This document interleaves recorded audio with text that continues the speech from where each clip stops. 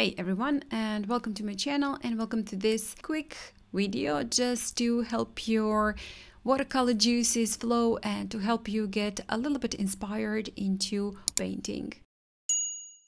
Today I will be using this Arches watercolor paper and all the materials I will be using are listed in the description box so if you're interested in something, want to check something out, you can find it there.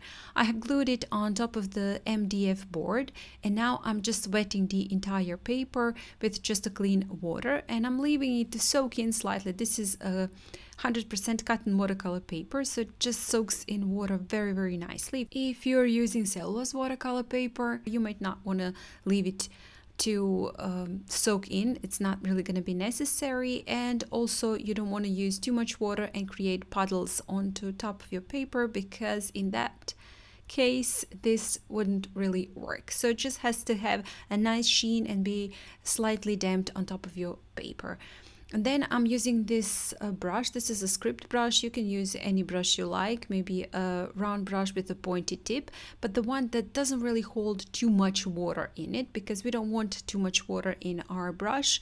If you use too much water, you're just gonna put it onto on top of your paper and just gonna leave a puddle and not create these beautiful tiny little dots looking like florals. So i'm just tapping in with the tip of my paper using slightly lighter and slightly slightly darker pigment.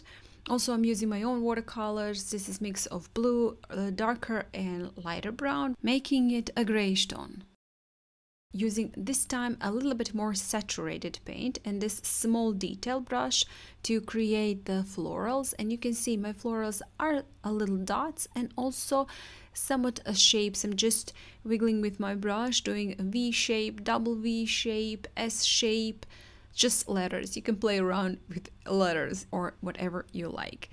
Adding in some smaller stems doing the same thing for all of my florals and just when you're doing your background, make sure you leave a spot for those flowers that are going to be in the foreground. We don't want to make it too crowded in the background.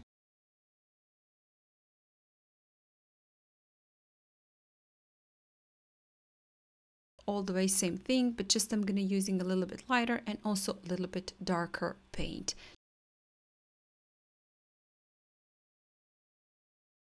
quite as simple as that. We are done. This is a very, very fast painting, as I said, just to help you warm your hand and make your creative juices flow.